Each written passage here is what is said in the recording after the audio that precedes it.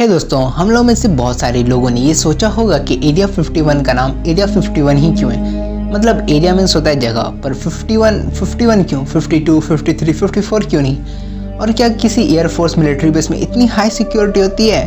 और एक आम इंसान तो छोड़ दो, किसी न्यूज़ रिपोर्टर को भी जाने की इजाज़त नहीं है इस जगह पे, और ना ही आप इस जगह की फ़ोटो ले सकते हो। इतनी हाई सिक्योरिटी क्यों यहाँ पे? और आखिर क्या है ऐसा एरिया 51 में?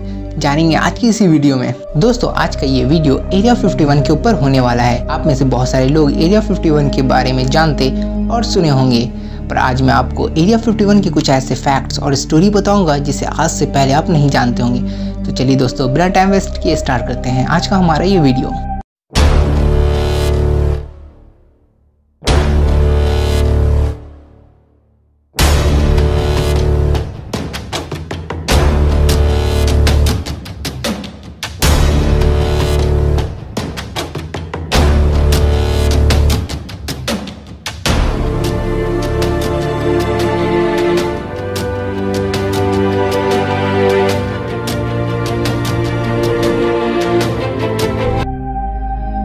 जब भी हम लोग एरिया 51 का नाम सुनते हैं तो हमारे माइंड में सबसे पहले यूएफओ और एलियन का ख्याल आता है। एरिया 51 इतना फ़ेमस बस अपनी कंस्पिरसी थ्योरी की वजह से और ये कंस्पिरेसी थ्योरी की शुरुआत होती है 2 जुलाई 1947 को, जब न्यू मैक्सिको के रोजवेल में एक यूएफओ क्रैश होता है।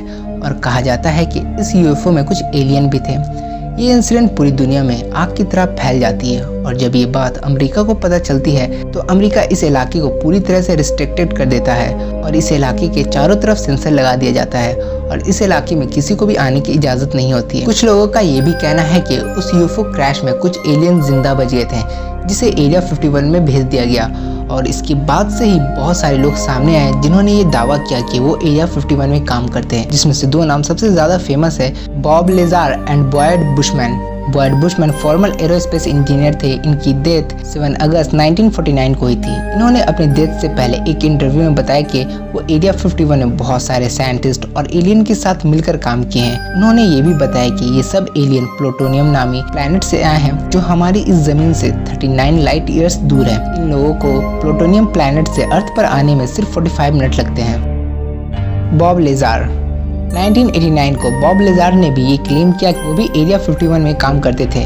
इन्होंने ये भी बताया कि वो एरिया 51 में एस फोर में काम करते थे, जहाँ ये यूएफओ के पार्ट्स और इस पर स्टडी करते थे। इनके मुताबिक जब ये लोग एरिया 51 में एंटर करते थे तो इन लोगों को एक बस के ज़रिए अंदर लेके जाया जाता था, जहाँ उस बस के सारे विंडो ब्लैक कलर के होते थे, जिसकी वजह से वो बाहर का कुछ भी नहीं देख पाते थे।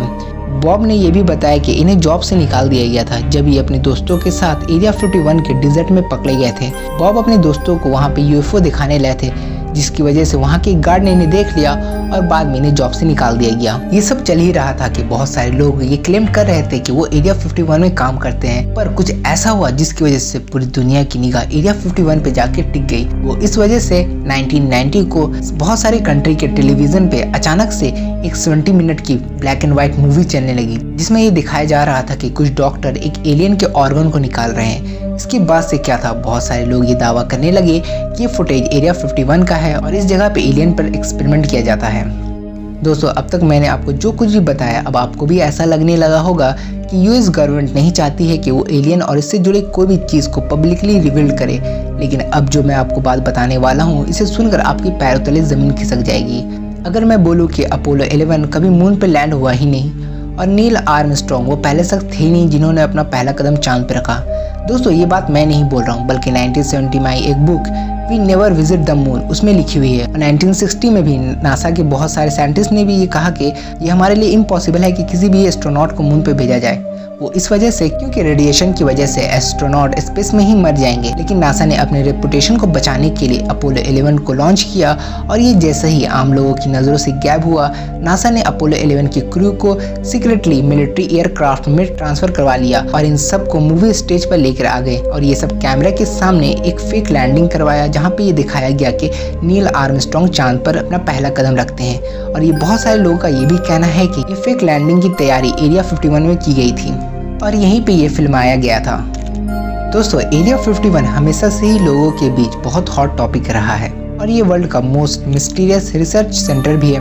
पर हम लोग इसे एरिया 51 ही क्यों बोलते हैं? वो इस वजह से कहते हैं क्योंकि ए के मैप के मुताबिक ये 51 नंबर पर आता है।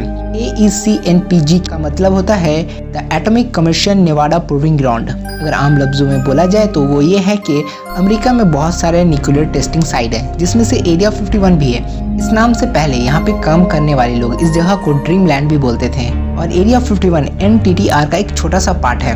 एन का मतलब होता है the Nevada testing and training range तो दोस्तों, आज का वीडियो बस यहीं तक। उम्मीद करता हूँ दोस्तों, आज का ये वीडियो आपको पसंद आया होगा। अगर वीडियो पसंद आया तो हमारे इस वीडियो को लाइक करें और ना डिसलाइक करें और कमेंट में एक रीज़न बताएँ कि आपने ये डिसलाइक क्यों किया। तो उम्मीद करता हूँ दोस्तों, आपको ये वीडियो पसंद आई होगी।